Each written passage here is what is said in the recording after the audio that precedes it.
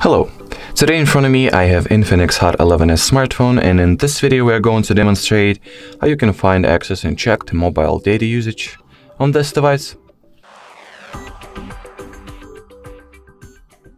First of all you want to launch the settings, next enter the SIM card and mobile network category.